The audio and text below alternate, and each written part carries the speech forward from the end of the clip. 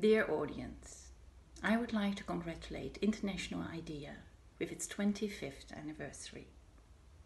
Of course, democracy itself already dates back over 2,500 years, which is also cause for celebration. Today, it is as important as it was in ancient history to ensure fair and effective representation of the people. We as the Netherlands are long-term supporters of International IDEA. Throughout the years, we have very much valued the tremendous work, events, tools and studies of the Secretariat and our international cooperation with IDEA member states in the Council. Today, we celebrate IDEA's anniversary during the global COVID-19 pandemic, a crisis with unprecedented effects, also on democracy and elections worldwide.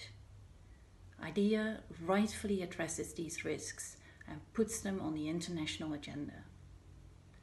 This to me shows the continued value and agility of international IDEA. I firmly believe that IDEA's efforts are very important in advancing democracy both in context where it's newly embraced as well as in established democracies. Congratulations with this milestone.